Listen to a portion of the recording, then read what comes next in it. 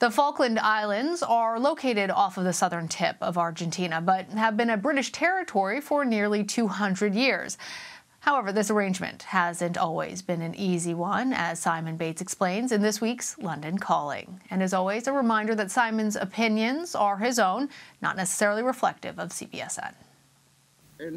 40 years ago this summer, Argentina's dictator, General Leopoldo Galtieri, had a problem. He wanted more of his citizens to support him, so he took the nationalistic route, and on the 2nd of April 1982, Argentina mounted a surprise invasion of the Falkland Islands. Ah, the Falkland Islands. Tiny little spot in the South Atlantic that had been British since 1833. The Argentine had long laid claim to the territory, but up until 1982, things had never reached the point of war. A shocked British Prime Minister, Margaret Thatcher, knew that her political future rested on decisive action. So she assembled a huge naval task force, and she sent it halfway around the world to kick the Argentine out of the Falkland Islands. And the vast proportion of the British public warmed to the support of their military. Parts of the American administration were far from convinced. There was even pressure for Washington to remain neutral between two of America's allies. But then the close personal relationship between President Ronald Reagan and Prime Minister Thatcher came into play.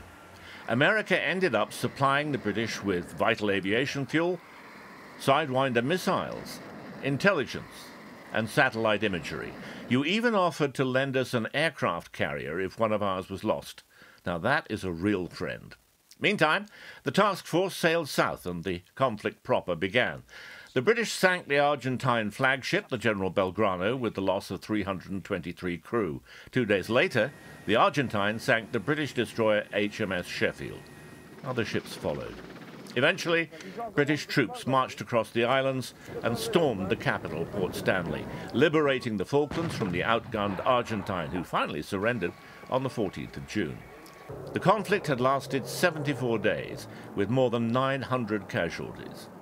Mrs. Thatcher went on to dominate the British political scene. General Galtieri wasn't that fortunate. He spent the rest of his life in prison and internal exile. These days, Britain and Argentina have close relations, and they've agreed to differ over those windy islands in the South Atlantic. That's London calling for today. This is Simon Bates for CBS News in Devon.